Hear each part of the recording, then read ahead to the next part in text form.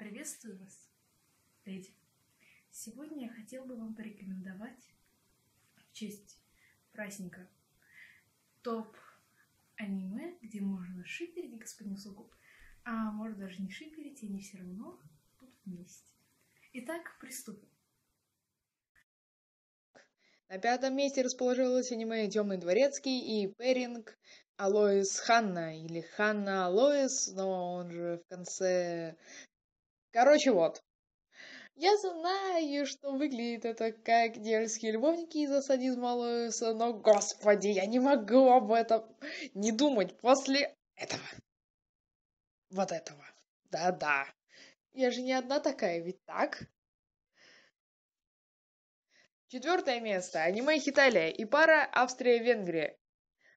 Тут паре повезло больше, потому что они поженились, правда, потом им пришлось развестись, но между ними все еще осталась какая-то химия, но ради этой химии надо читать уже мангу. Итак, итак, третье место. Председатель госпожа горничная. Усуи Миса. И, знаете, в принципе, пара-то неплохая, но, господи, как же меня бесила эта ревность у Суи. Она бесила меня очень сильно. Но, в принципе, вел он себя достаточно забавно. Хотя, при этом, когда моя мама сказала, как он выжил после прыж... Э, прыга с крыши ради миссы, я ей смогла сказать только одно.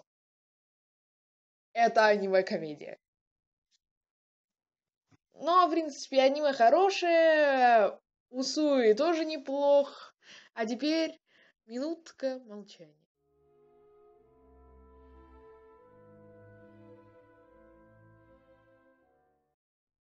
Второе место.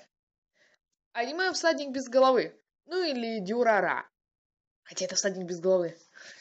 И пара Изая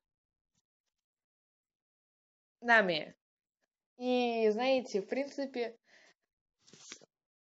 трудно назвать нами служанкой, так же, как и наш, так же, как и наш следующий парень, но все-таки. А еще меня бесит Изаем. Хотя, при этом анализируя свои поступки, я понимаю, что иду себя так же, но, господи, он меня бесит. Понимаю, граф и Ферри. И пара Эдгар Лидия. Реально прикольная пара, поэтому ёйщицы, которые заявляют, что Эдгар Скельпи, Эдгар с Рейвоном, или которые заявляют, мол, Кельпи лучше Эдгара. Нет, Эдгар Лидия. Хотя Эдгар мне тоже вещь неплохая, но мне больше нравится Эдгар Лидия. Просто нравится. Вас за просмотр. Ставьте лайки, подписывайтесь на канал и, пожалуйста, пишите комментарии. Без них одиноко. Благодарю вас за внимание еще раз. Пока!